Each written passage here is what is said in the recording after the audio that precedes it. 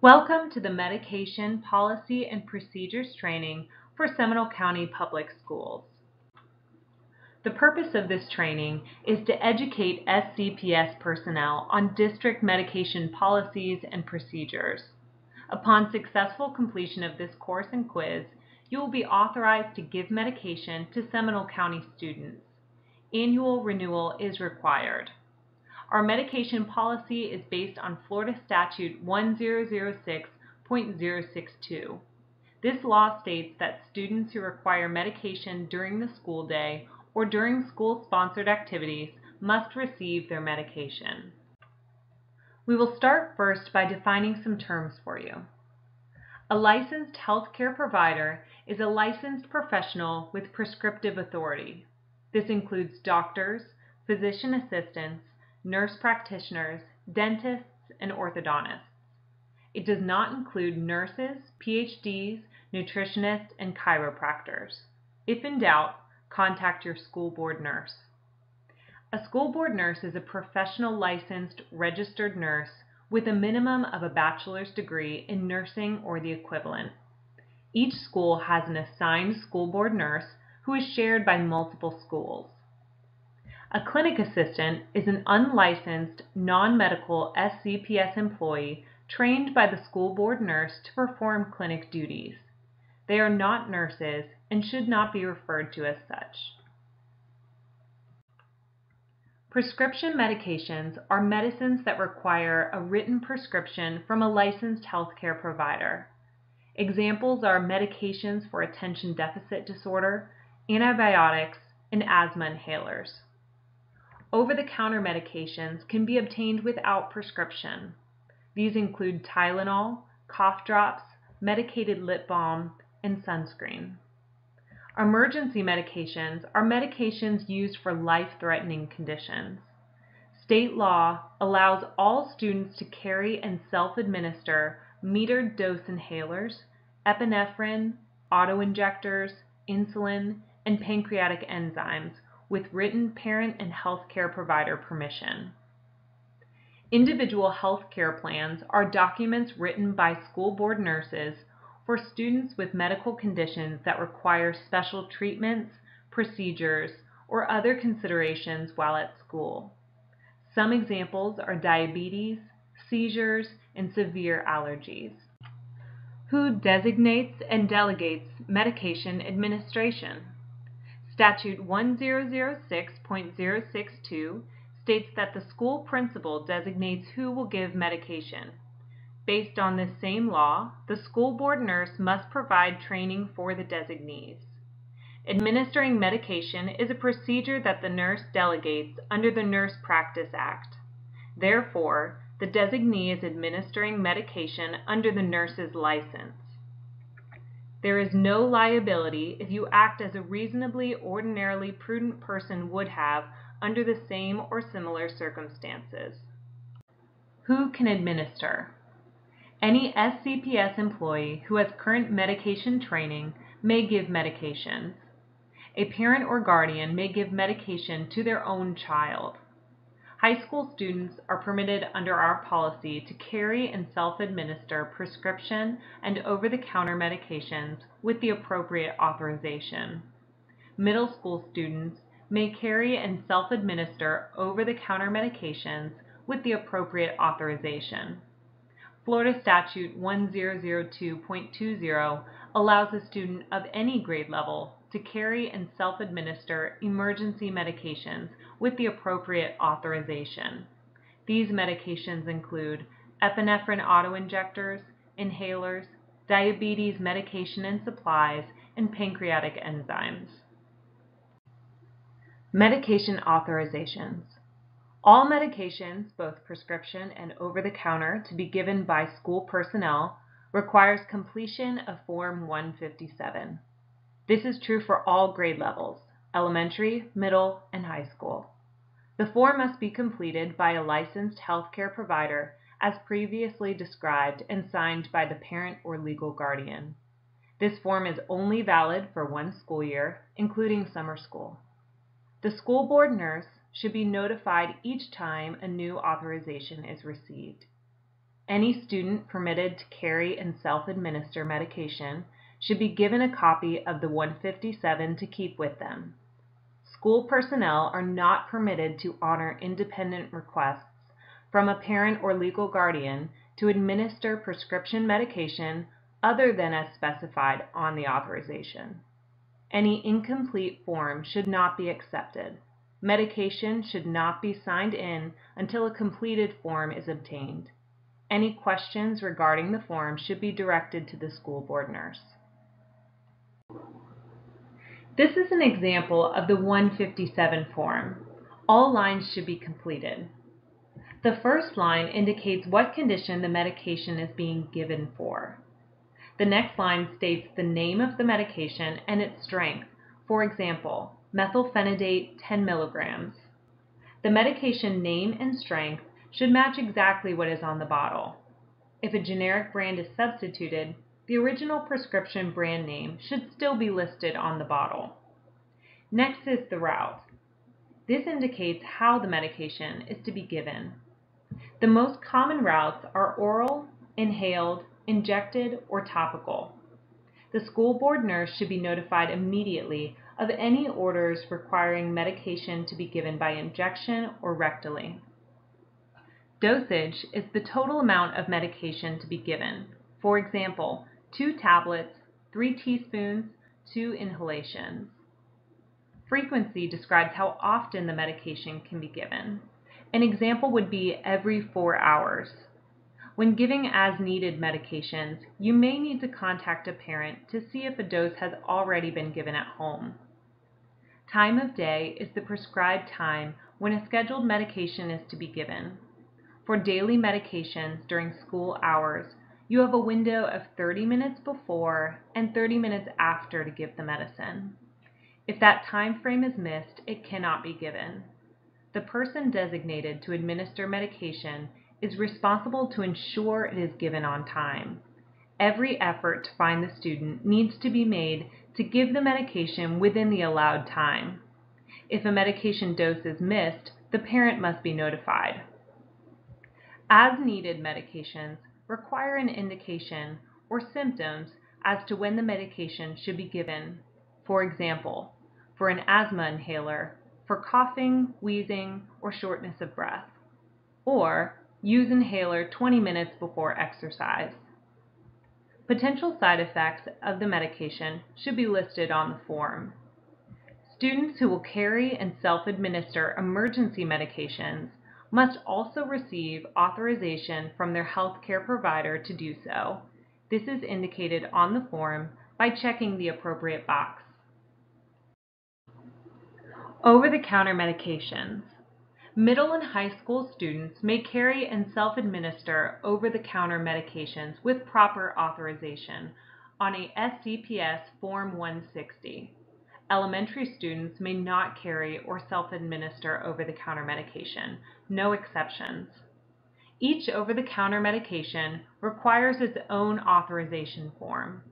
Items such as cough drops, sunscreen, medicated lip balm, and bug spray are considered to be medications because they may contain active ingredients that have the potential to cause an allergic reaction. Vaseline and contact wetting solution are not considered medications and can be carried by all students without an authorization. This is an example of the 160 form. All blanks should be completed. Only a parent or legal guardian signature is required on this form. No healthcare provider signature is needed. The dosage and frequency cannot exceed those recommended on the container label. This form must be kept on file in the clinic and a copy given to the student to keep with the medication. The student must carry the medication in its original container and it is encouraged that they only carry one day's dosage. Students authorized to carry and self-administer over-the-counter medications may not store them in the school clinic. Medication forms 157 and 160 are available on the SCPS website. So let's break it all down. At the elementary school level, Form 157 is used for all medication.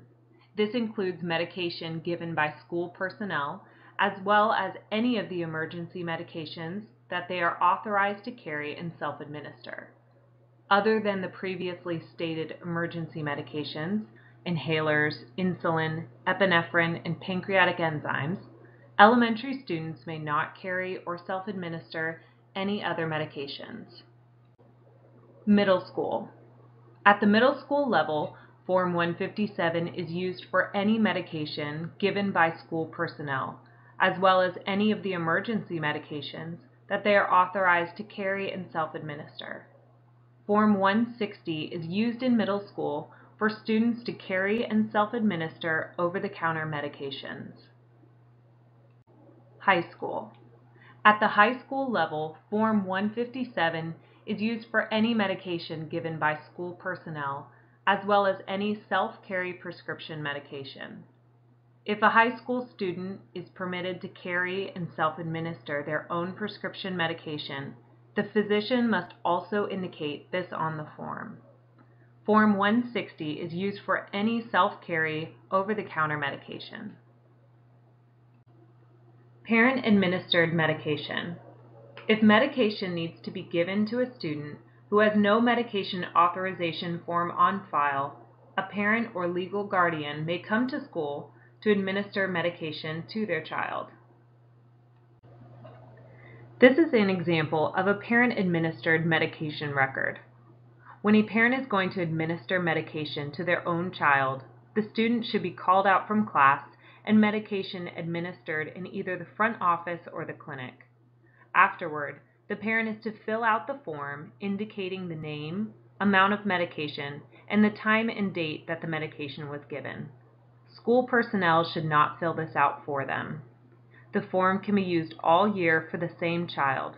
It can also be used for more than one medication. Medication delivery. Medication to be stored at school must be hand delivered. A parent or legal guardian may deliver medication to the school for his or her own child, or they may designate another adult to deliver the medication. This adult must present written permission from the parent or legal guardian using a permission to transport form. At the high school level, students may deliver their own medication with parent permission. However, no elementary or middle school student may deliver his or her own medication.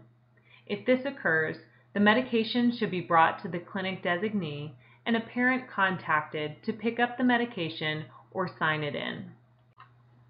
Permission to transport. The permission to transport form is used when a parent designates another adult or their high school student to deliver medication. It includes the medication name, strength, and number of pills, amount of liquid, or number of devices.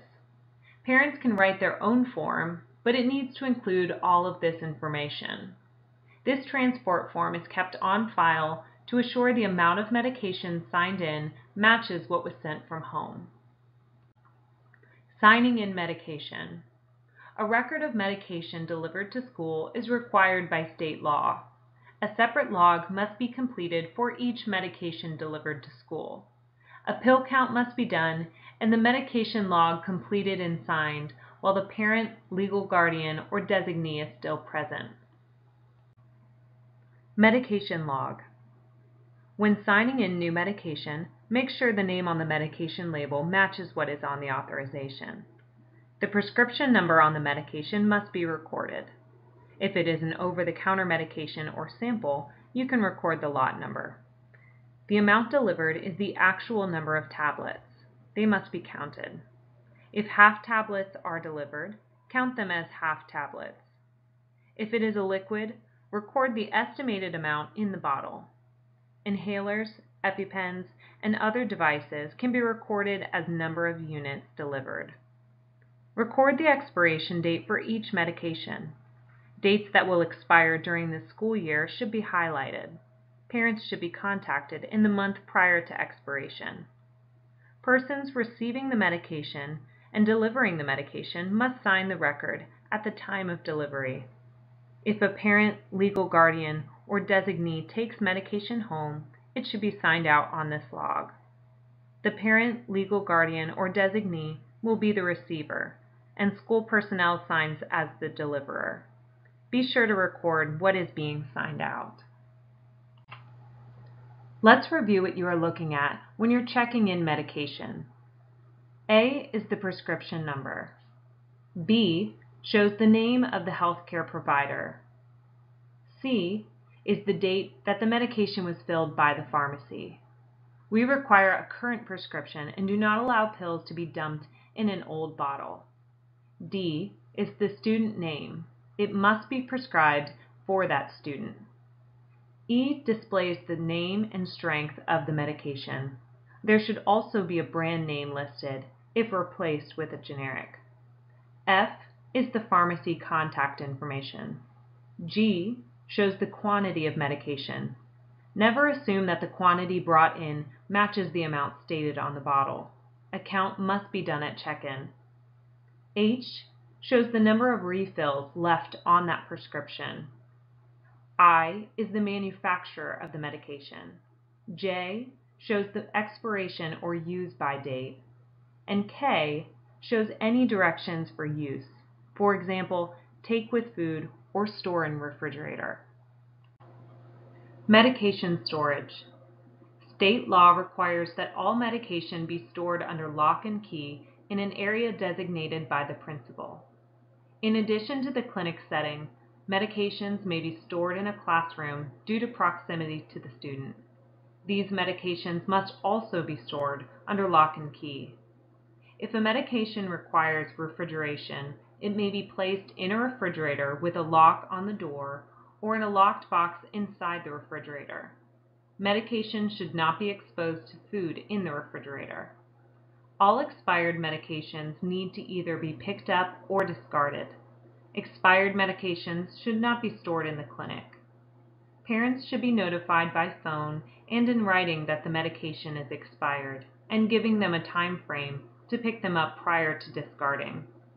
Also remember, you may not store medications for students who are authorized to carry and self-administer. The six rights of medication administration.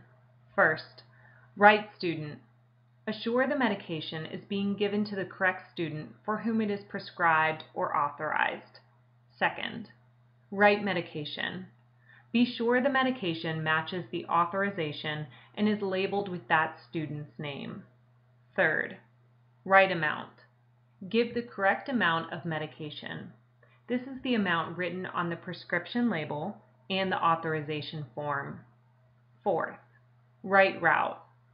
The medication should be administered in the correct manner, whether it is oral, inhaled, topical, etc. Fifth, right time. The medication must be administered within the 30 minutes before or after the prescribed time. Sixth, right documentation. Administration of medication should be documented immediately by the person giving the medication. Following these steps will assure that you are that prudent person the law refers to. Procedure for administering medication. In order to administer medications correctly every time, the following procedure should be followed. First, wash your hands. Next, have the student identify himself by first and last name. It's a good idea to attach a student photo on the medication record. Next, remove medication from its locked location and check the name on the bottle. Then, Check the medication label to compare with the authorization form. You should never give a medication without checking the authorization, even if you give it every day. Once all information is verified, the medication can then be dispensed. If medication is in pill form, you may pour it from the bottle cap into the student's hands. If it is in liquid form, you may hand the medication cup with the liquid medication to the student. Always be sure that the student has swallowed the medication before documenting administration. Contact your school board nurse for the appropriate procedures for medications that are not administered orally. Documentation. It's imperative to maintain thorough documentation. each school must maintain a current record of all medication administered by school personnel or by the parent or legal guardian. The form used to document administration of medication by school personnel is the Medication Administration Record, often referred to as the MAR. A new record should be completed if an updated authorization is received with a change in time or dose. We have already discussed the parent-administered record, and now we will discuss the school-administered record. This is the form used to document the administration of medication by school personnel. A separate record is to be used for each medication. All sections are to be completed. When medication is given, place your initials with the exact time of administration in the box with the corresponding date.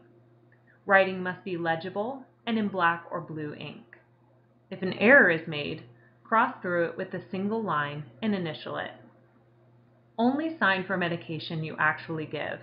Do not sign for someone else. When a medication is given, it must be documented immediately. If it's not signed right away, someone else may think the medication was not given and give it again. The key at the top are codes to document why medication was not administered. Place the appropriate code in the box to explain. For example, if a student was absent, write A in the box for that date. Dates when school is not in session are already crossed out for you. Remember, there is a 30-minute window on either side of the prescribed time to administer medication. If not administered within that time frame, medication should be held, parent notified, and an incident report completed. Every attempt should be made to locate that student before the 30-minute window is up. If medication is ordered at two different times during a school day, two separate MARs should be used, one to record each time. This is also true for as-needed medications that are being given more than once a day. If a range in dosage is ordered, for example, one to two puffs of an inhaler, indicate how much was administered. The back page of the MAR is where your initials are identified with a corresponding signature. It is also where you can document any occurrence or incident, such as noting the use of a key code on the front of the record. It is also important to document communication with parent when medication is running low or soon to expire. All documentation should be dated and include a signature.